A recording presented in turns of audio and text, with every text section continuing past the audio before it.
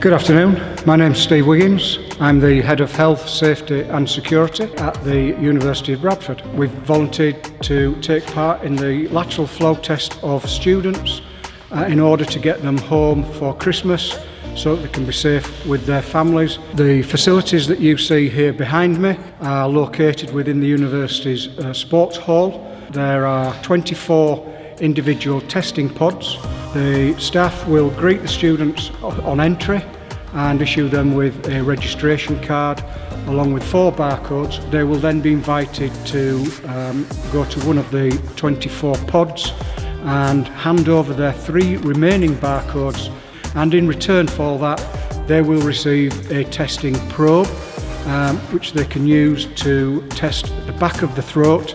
Once the throat swab has been taken then the swab should be inserted into the nasal passage about an inch. Once the student has done the swab, then they will be invited to insert the uh, testing stick into a test tube, uh, which will be held in a red tray.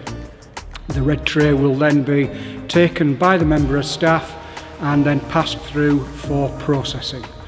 At this point, the student should then leave the pod the results will be communicated to the student directly via the app. All students will be required to have two swabs uh, and that will be three days apart. The testing will start on the week commencing 30th of November and it's only for those students that are asymptomatic. All students will be required to book um, your test through an online system this test is being provided to the students by the university for free so that the students can travel home safely. It is strongly advised that you have both tests even if the first one comes out negative. This is to ensure that when you return home you keep yourself and your family safe.